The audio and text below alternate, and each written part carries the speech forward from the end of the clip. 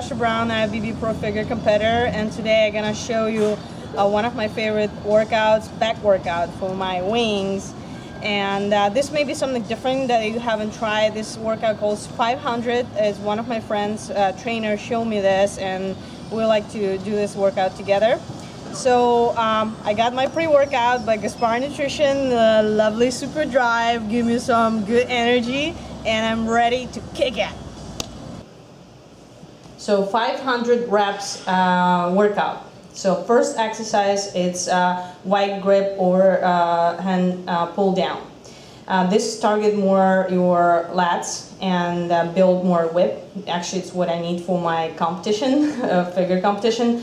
So you do total 20 reps, a little bit lighter weight than you usually do. And so five sets is gonna be 1200 reps for this exercise. After each exercise, you're gonna move to next one and you do non-stop, no rest. It's gonna be good pump, good burn. Uh, last, uh, uh last superset is gonna be really painful and really tough, but you just need to be mentally ready for this, uh, this workout.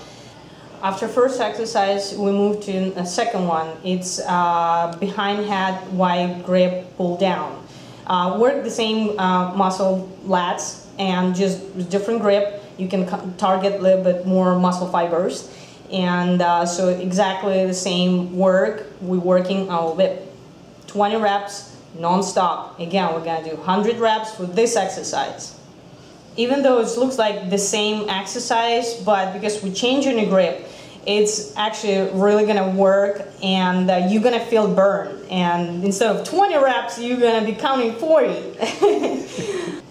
Next exercise, uh, seated row uh, close grip. Um, this exercise, we're gonna work more middle back. Don't rush, keep your chest up.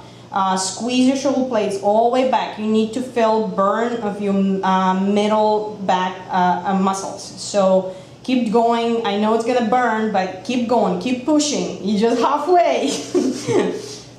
so next exercise, we move to Smith machine. And sometimes like, uh, or you don't have this machine in your gym or it's not available, you can do this with uh, barbell or dumbbells. The same exercise, lean forward, keep your back nice and tight, uh, keep your abs nice and tight, bend your knees, and you pull toward your uh, stomach and squeeze your shoulder blades all the way up.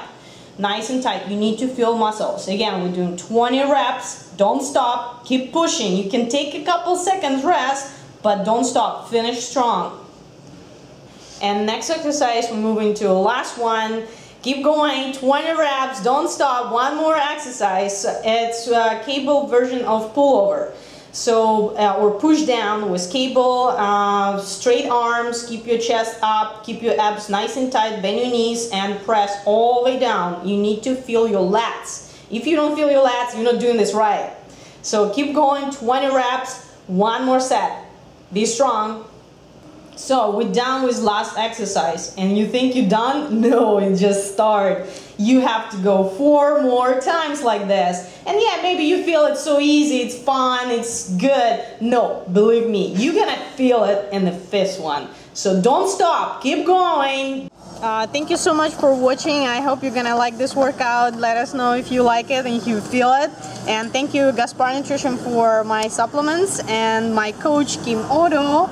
Um, Thank you so much. Good luck.